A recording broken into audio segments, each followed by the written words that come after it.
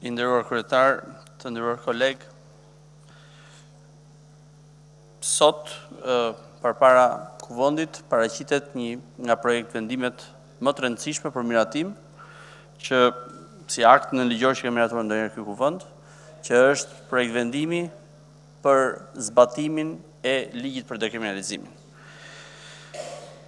Ky është akti që përmbyll një betejë dyvjeçare, një betejë madje më shumë se dyvjeçare për dekriminalizimin e politikës, institucioneve shqiptare dhe administratës.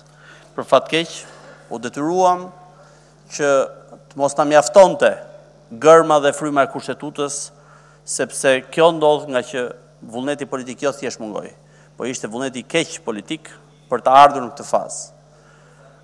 Kriminelët u morën për dore dhe u futën në politikë dhe në administratë. Nëse dikush ka ende pikëpyetje për këtë boll të kujtojmë ç'thotë Komuniteti Ndërkombëtar, Sekretari i Shtetit Kerry apo përfaqësuesja e Bashkimit Europian dje zonja Mogherini këtu në këtë sallë. Unë besoj që të gjithë neve do të kishim jetuar shumë më mirë nëse nuk do të kishim nevojë për Ligjin për Dekriminalizimin dhe për këtë akt të detajuar për të zbatuar Ligjin e Dekriminalizimit. Do të ishim të gjithë më të nderuar nëse nuk do të kishim nevojë ta ngrinim dorën sot për të futur këto rregulla të forta për një arsye të vetme, dekriminalizimin e parlamentit dhe institucioneve. Për ta bërë këtë duhet Kurajo, integritet, burrëri, për t'i qëndruar themeleve që mban një shtet demokratik, Kushtetutës dhe normave të decencës demokratike. Po ishte e qartë që kur objektivi është që të fitohet me çdo kusht një palë zgjedhje, çdo gjë ndodh dhe një nga gjërat që ndodhi për fat keq ishte kriminalizimi i skajshëm i kësaj salle dhe jashtë saj. Betejë më shumë se dyvjeçare po përmbyllet vetëm faza ligjore. Me sa duket nuk kishte aspak mundësi që nëpërmjet vetëm vullneti neve ta përmbanim të keqen jashtë, por na duhesh ky ligj dhe ky vendim që ka formën e një karantine për të keqen. Na u desh një vit për konsensusin e njëzet e katër dhjetorit, që ta materializojmë në një ligj, nga njëzet e katër dhjetor dy mijë e katërmbëdhjetë më shtatëmbëdhjetë dhjetor dy mijë e pesëmbëdhjetë. U deshën dhe tre muaj tjera që konsensusin e shtatëmbëdhjetë dhjetorit ta kthenim në këtë akt që duhet ta votojmë sot dhe do të hyjë në fuqi. Është shumë kohë për kaq pak nene për një çështje të një rëndësie kaq të madhe publike. Shqiptarët presin nga ne që ta miratojmë sepse presin nga ne që kriminelët të largohen nga parlamenti dhe institucionet e tjera. Por kjo është treguesi vetëm i diçkaje. Është e kundërta e parimit pacta sunt servanda.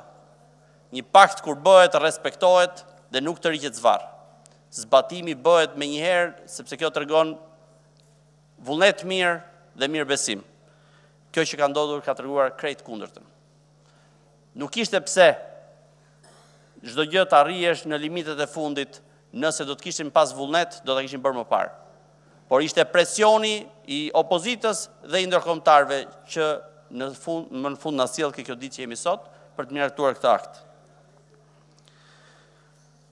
Kjo që keni sot përpara, të nderuar kolegë, Kjo që miratoi Këshilli për Rregulloren dhe Mandatet, siç kishte përcaktuar Kuvendi, është një projektvendim shumë i detajuar, i cili nuk lë shteg në gjykimin tonë që kriminelët t'i shpëtojnë qoftë ata që janë sot nëpër institucione dhe ata që do vinë nesër për të kandiduar në zgjedhje apo për t'u emëruar nga dikush, As ata të kenë shtegun për të hyrë dhe as ata që duan t'i fusin të kenë alibinë për të thënë nuk e dija, e mora dhe e futa. Përcaktohen rregulla detajuara që do të bëjnë të mundur zbatimin e këtij ligji, do t'i japin mundësinë institucioneve dhe prokurorisë të bëjnë gjitha verifikimet e nevojshme për të larguar ata që janë sot dhe për të penguar ata që do të vijnë nesër. Por gjithashtu, u ra dakord përfundimisht dhe për një element mjaft të rëndësishëm, që është një formular vetëdeklarimi mjaft i detajuar, është ai që do të bëjë mbledhjen e të gjitha të dhënave, fakteve, indicieve, që pastaj do të bëjë të mundur që ligji dhe organet e ngarkuara nga ligji t'i largojnë këta me ligj. Sigurisht, ju e dini që këtu pret dhe një projektligj tjetër për të larguar Edhe një kategori tjetër të rrezikshme, ata që arrestohen në flagrancë për kryerjen e një krimi kundër jetës, pra vrasje, apo kundër shëndetit, pra plagosje. Ne kemi deputetë të cilët akuzohen për këtë, por kjo ka ekspozuar një kategori shumë të rrezikshme. Gjithsesi kjo është një çështje, një betejë tjetër, Por ajo që përmbyllim sot është faza legjislative e largimit të kriminelëve.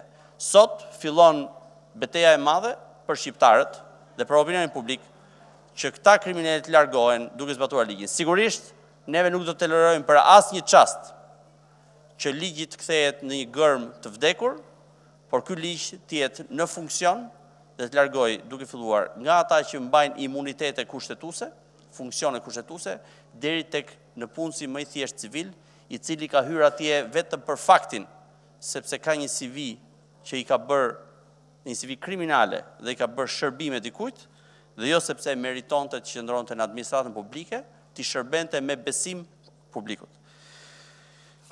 Ju ftoj të nderuar kolegë që këtë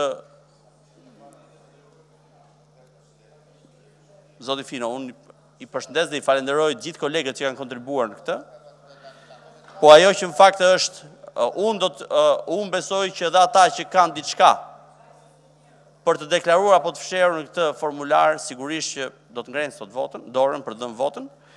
Por, gjithsesi mbetet në nderin e këtij Parlamenti jo vetëm ta miratojë, por ta çojë përpara dhe ta mbikëqyrë deri në fund zbatimin e këtij ligji. Faleminderit.